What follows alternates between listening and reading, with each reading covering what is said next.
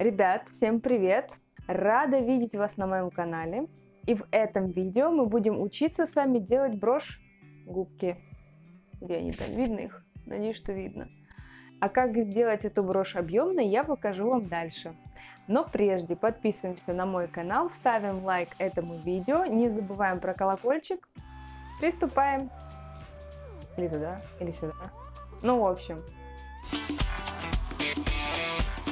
Плюс данной броши в том, что нам не нужно много расходных материалов. Всего два цвета бисера, вишнево-красный, второй розовый, фетр фуксия. Намечаем себе, где у нас будет рисунок У при помощи выкройки. Вы найдете выкройку в описании внизу, в инфобоксе.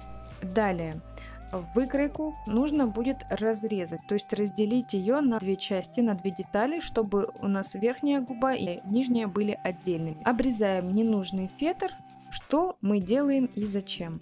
Нам надо сделать на каждую губу по три выкройки. Основные выкройки будут обычного размера, а каждая последующая будет меньше примерно на 1-2 мм. Таким образом мы создаем эффект объема. Помимо этих выкроек я советую вырезать из фетра два маленьких кружочка. Точнее, их должно быть 4. Два на верхнюю губу и два на нижнюю. Это тоже необходимо для дополнительного объема. Далее, конструкцию, которую у нас получилось, нужно сшить, чтобы она не рассыпалась, ну и для вашего удобства. Делаем это буквально несколькими стежками. Не нужно сильно стягивать фетр, иначе эффект объема просто пропадет. Для того, чтобы получить рисунок полураскрытых губ, в свободном пространстве между ними нужно будет пройтись стежками черной ниткой мулины.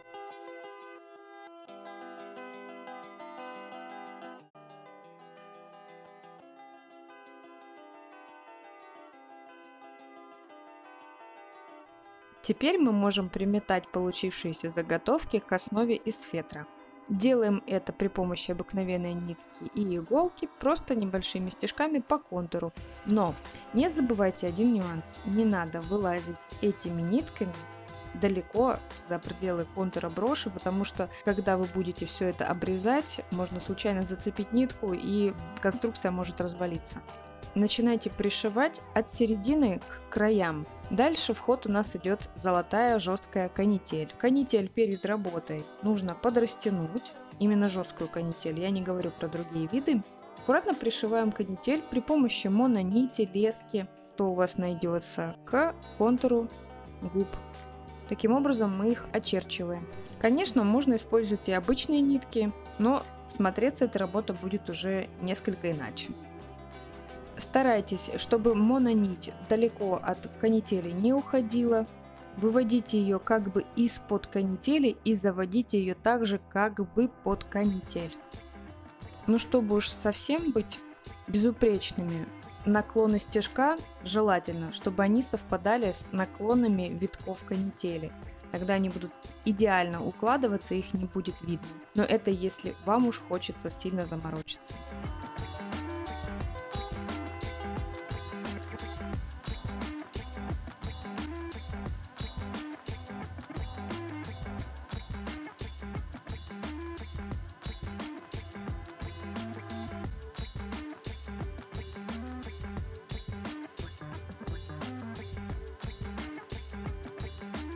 Для пришивания бисера я использую нитки фирмы Гутерман. Мне они очень нравятся. В первую очередь потому, что нитки зарекомендовали себя как прочные.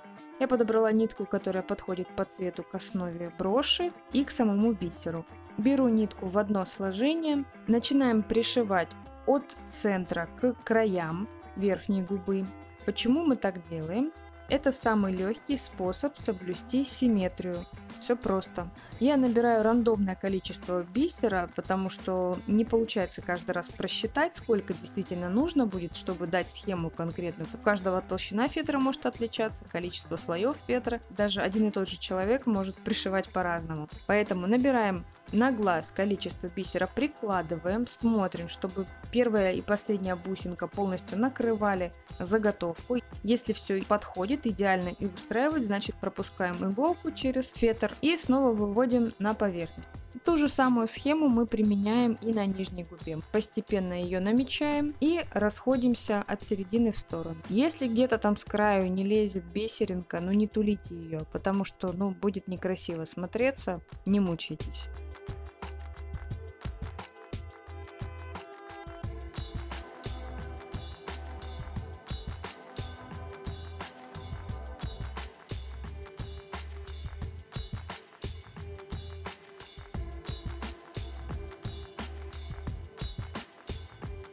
Расчехляемся. Нитку фиксируем сзади. Да, жопки у всех страшненькие. Я уверена, что даже у самых крутых мастеров там куча узелков будет, и это нормально. Вырезаем заготовку по контуру, оставляя буквально 1 мм. Стараемся не задевать нитки и мононить. Для того, чтобы к нашей заготовке приклеить основу из картона, я использую клей Момент Кристалл. Вы можете использовать любой клей, какой вам хочется.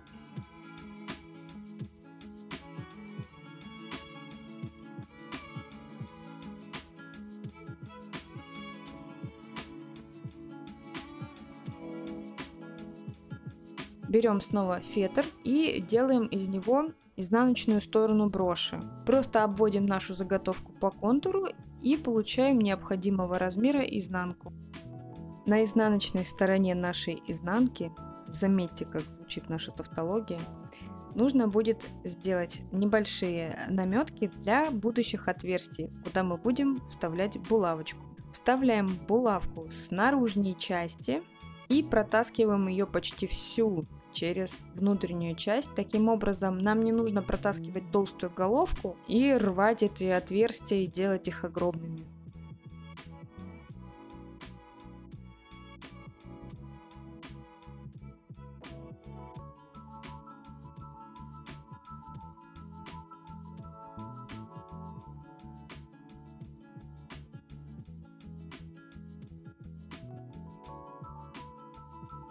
Снова применяем клей момент, наносим его на картонку, потихонечку прикладываем изнаночную сторону. Стараемся сильно не сжимать, иначе клей может пропитаться через фетр и на нем останутся некрасивые разводы. Теперь самая моя любимая часть это оформление края броши.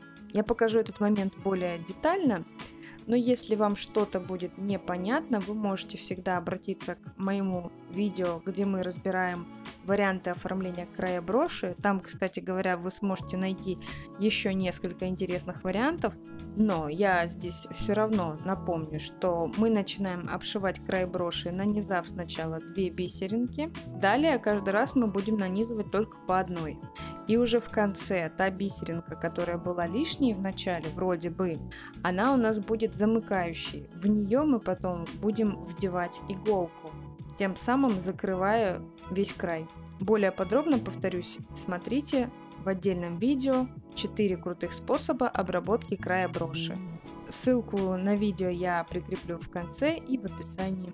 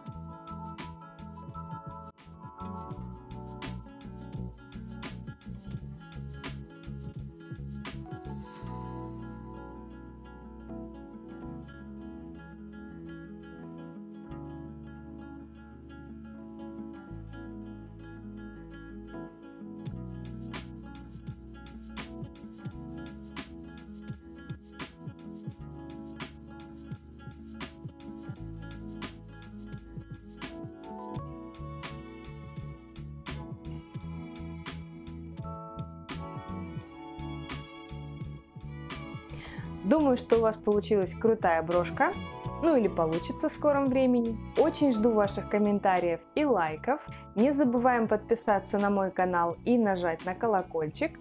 А также делитесь этим видео.